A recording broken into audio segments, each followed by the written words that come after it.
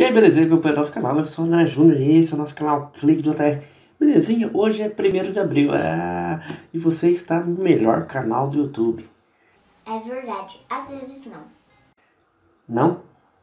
Não, não é melhor? Ah, ah é 1 de abril, né? Não é melhor, mas é o mais ou menos. E com esse, com esse apresentador que é o melhor, mais bonito, mais belezinha do YouTube. Não também?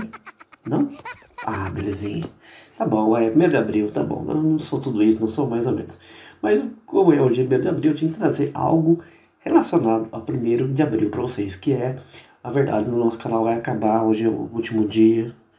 Brincadeira, belezinha, para de trollagem, né? Na verdade, eu vou trazer, o que, que é o nosso conteúdo? Nosso conteúdo é a fotografia. Então hoje eu vou trazer a imagem mentirosa mais famosa da história. Como assim, André Júnior? Sim, a fotografia fake, né?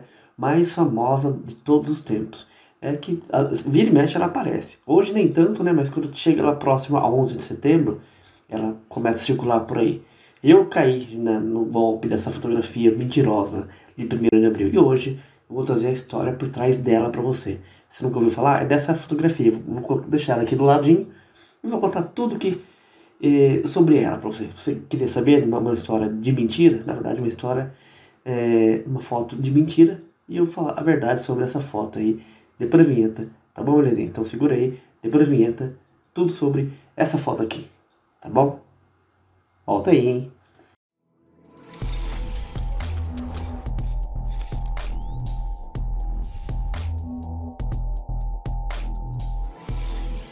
Belezinha, antes de mais nada, por favor, é, se inscreva no canal, dê aquele like, né, para continuar acompanhando esse, esse conteúdo de fotografia, curiosidades e tudo envolvendo esse mundo, além de fotografia, é, do cinema, da, das, das, notícias também.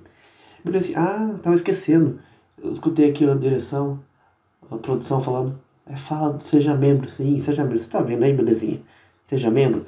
Agora você pode ser membro do canal e ajudar esse bonito aqui, ah, hoje é primeiro abril, esse cidadão aqui é, a, a crescer mais, trazer coisas para você trazer brindes para vocês, a canequinha aqui, ó, belezinha. Ó, ó, ó. Camisetas, é, curso fotografia.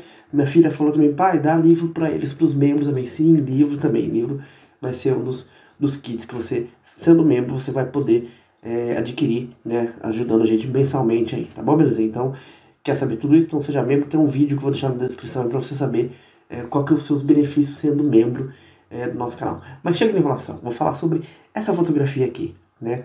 Desse cidadão aqui, desse turista no World Trade Center. Belezinha, para quem não sabe, eu já falei sobre isso várias vezes, tem um vídeo, alguns vídeos do, no, no canal, dá uma olhada aqui, aqui em algum lugar, sobre o World Trade Center, tudo sobre essa tragédia lá de 2001. Que eu, eu, eu sei tudo isso porque foi o ano que eu casei, então é um ano que marcou minha vida pelo bem, né, principalmente, e pelo mal. E esse ano Estou fazendo 20 anos de casado. É... Parabéns!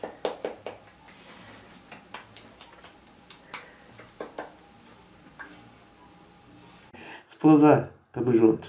É nóis.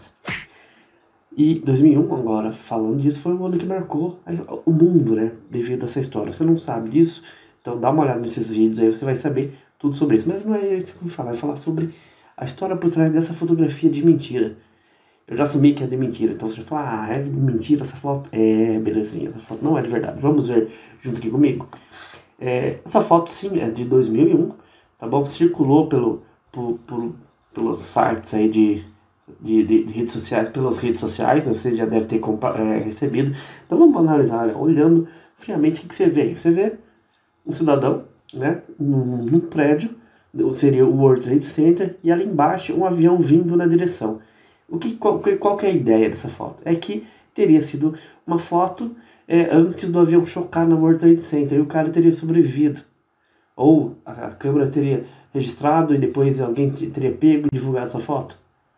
Já começa meio estranho, né? Se foi o avião que bateu, como que ele, ele, essa foto chegou a ser publicada? Já tá tudo errado, já começa tudo errado. Né? Então essa foto se tornou famosa por isso. Vamos ver um pouco mais sobre, sobre ela. Então acompanha comigo aqui, ó. A fotografia tornou-se um dos trotes mais famosos que circularam pelo mundo da fotografia. Depois dos ataques terroristas de 11 de, 11 de setembro, as Torres Gêmeas, à primeira vista, a foto parece ser real, mas Se analisarmos mais a fundo, vamos perceber as falhas na montagem. A montagem, beleza, isso é Photoshop puro. Tá? Antes, é, antes de mais nada, deixa eu falar para vocês, esse site que eu estou vendo aqui para vocês, que eu sempre trago algumas coisas aqui para vocês, é o E-Farsas. O E-Farsas, se tem a dúvida em alguma notícia, vai lá, dá uma olhadinha, pesquisa no E-Farsas, que se for mentira, normalmente, fake, vai aparecer lá, e eu estou trazendo para vocês aqui, do E-Farsas. Tá? Tamo junto aí, E-Farsas. Então vamos ver aqui, aqui já aparece, vai tudo certinho para você, aqui a foto, como ela tá, né? ele de um lado, o avião passando, é, foto falsa. O site já está mostrando para você que é falsa. Agora aqui mais abaixo, se você vê aqui, ó, o modelo do avião, o avião que foi usado para ser postado nessa foto é essa, esse avião aqui, ó. Então simplesmente, né, tirou no Photoshop, colou na imagem e a foto original dele, sem nada, é essa aqui. Aqui abaixo, ó lá, foto original. Tá? Ele realmente estava lá, né, antes, né? Não foi no dia 11 de setembro, foi outro dia. Não sei se eu vou, se eu vou trazer a data aqui para vocês, mas vocês estão vendo aqui. Tá vendo? A mentira, o avião e... é fácil fazer isso, né? Fácil, muito fácil. Quer que eu ensino você a fazer foto fake? Qualquer dia, talvez eu traga para você. Mas quem seria esse cara aqui? Seria, aqui apareceu, eh, foi vinculado que seria um brasileiro, José Roberto Penteado, ficou famoso é, dizendo que foi ele o modelo dessa foto. Isso rendeu-lhe uma, uma matéria na CNN e no Jornal da Globo. Tá aqui, ó, o Oscar aqui. Oscar, não é José? É Oscareca. Esse é pra hoje ou pra amanhã? O flagrante de alguns segundos é, é, antes do avião chocar com a torre. Na verdade, uma montagem muito bem feita. Era para ser uma foto de humor, mas na verdade é, muita gente, é, muita gente acreditou. E o caso é o caso de uma apresentadora brasileira, que eu não vou falar quem é, que ficou horrorizada com a imagem. Quem será que é? Eu não sei. Mas não era o cara. Esse cara não era. O brasileiro é sem vergonha, né? Segundo o jornal Wired News, o verdadeiro turista azarado é um húngaro de 26 anos chamado Peter, ou Peter. É, ele não contou seu sobrenome aos repórteres. O maluco contou que, pouco depois dos acontecimentos de 11 de setembro, ele se lembrou de uma fotografia sua batida no topo das Torres Gêmeas. Então ele tirou antes, tá, gente? Ele tirou em 28 de novembro de 97. Então colou o avião na bendita e mandou para os amigos via e-mail. Em questão de dias, o cara ficou conhecido no, no mundo todo. Em pouco tempo, Peter, ou Peter, foi transformado no Forrest Gump na internet, aparecendo ao lado de figuras famosas como o Papa, o presidente dos Estados Unidos e o presidente da é, e, o, e presente no naufrágio do Titanic. O cara é uma figura. E não é um brasileiro, tá? O brasileiro que, que dá um migué aí, mas não foi ele não. Então tá aqui, ó. E tem outros erros também aqui. Ó. Você pode notar a foto abaixo o detalhe da data colocada na foto. Na fotografia real, a data é impressa direto no papel da foto. E nesse caso, é, sobressai o resto da figura. Olha aqui, ó. Tá ampliado aqui para vocês verem. Estão vendo aqui, né? Mais algumas coisinhas sobre essa foto, tá? Que tá aqui no site de Farsa, vou ler para vocês. O dia 11 de setembro estava ensolarado e nesse dia a roupa que ele estava usando é tipo de inverno, então um erro. Segundo, o horário é, ao deck de observação do World Trade Center é, funcionava das 9h30 às 21h30. O horário do, do primeiro impacto aconteceu às 8h47. Outros erros da história. O avião possivelmente estava numa velocidade alta, entre 300 e 600 é, milhas por hora. E o nosso colaborador Pedro Nunes, daqui do, do site Farsas, é, avisa que cada milha equivale a 1.609 metros. Né? Nenhuma câmera né, voou bastante para capturar o avião é, turista naquele ângulo, ou seja, tá nítido, né? Estão vendo que a foto, o avião tá nítido, estaria borrado, entendeu? entendeu? Aí, no caso, entra minha, minha observação sobre fotografia. 4. Ao se observar os prédios ao fundo, pode-se perceber que a foto foi, é, foi tirada virada para o norte. Podemos, então, presumir que o avião veio de, de, é, ao se chocar pelo lado norte da torre. Sabemos também que, que o avião é, se chocou na torre sul pelo norte mas essa torre não, é, é, não tem um parapeito de observação. Olha quanta coisa. Tem mais. Vamos supor que tudo isso seja verdade. Com que máquina fotográfica conseguiu é, registrar, resistir a todos os impactos e quedas, foi o que eu falei lá atrás, é, de variações de temperaturas, e é sabido que os negativos não suportavam variações bruscas de temperatura, principalmente lá em 2001. 2001 ainda tinha filme, gente. Tinha digital, mas era bem pouquinho.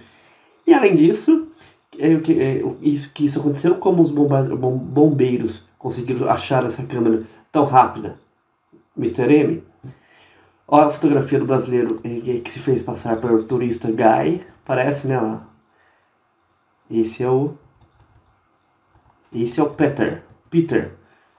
Esse é o brasileiro, perdão.